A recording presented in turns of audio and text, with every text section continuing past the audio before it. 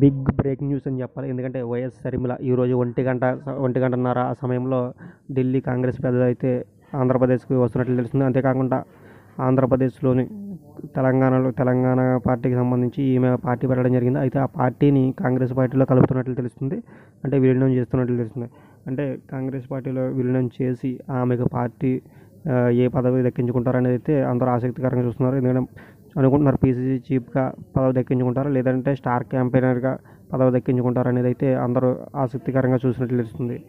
ఎందుకంటే ఈమె ఇప్పటి వరకు కూడా తెలంగాణలో పోటీ చేసినప్పటి చేసినప్పటికీ కూడా ఆశించిన ఫలితం అయితే ఎక్కడ దక్ దక్కించుకోలే.